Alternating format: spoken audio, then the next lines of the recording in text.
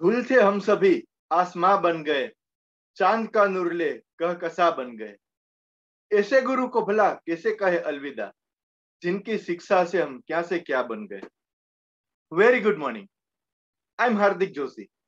I have been working in the e commerce field for the last nine years I help vendor to grow their business in online market places like Amazon and Flipkart today I would like to talk about memorable experience of my life Life is full of memories and experiences.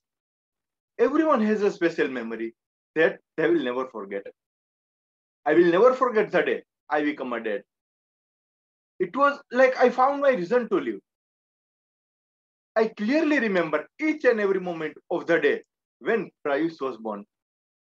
It was 22nd December 2016. It was a normal day, like any other.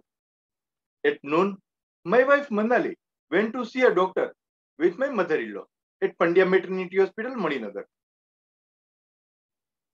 which was near my uh, which was near my in-laws' house. We were expecting a baby, and so as a precaution, she went to live at my in-laws' house. We make a lot of jokes about our wives, but we realize her importance in life when she is not around us.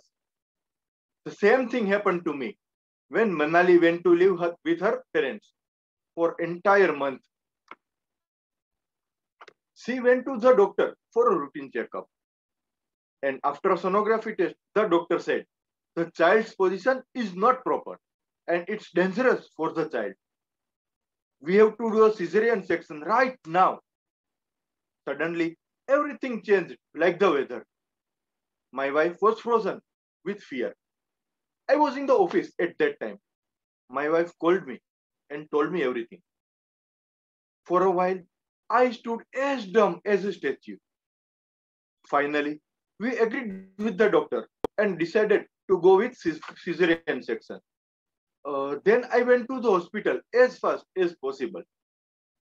My wife was already taken to the operation theater before I reached.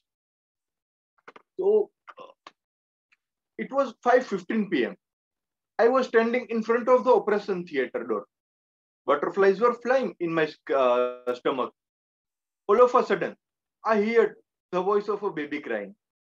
Within a five minutes, the door opened and the nurse came out declaring joyously, It's a boy. I jumped on the floor. I was shouting.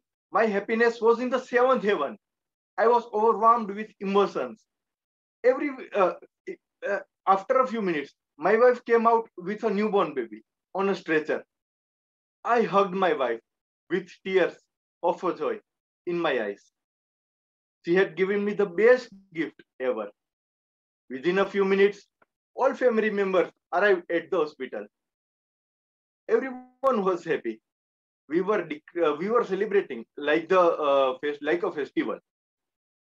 Being a first time dad is an incredible experience. How many of you have gone through this joy? Please raise your hand. Yes. So baby's smile is a bit of sunlight wrapped in your arms. In 22nd December was when I got my sunshine. Before I end my speech, I would like to thank all my respected gurus, Dipti ma'am, Amit sir, Nita ma'am, Darshna ma'am, and my group leaders, Neha Soni, and my batchmates for making this happen. Thank you.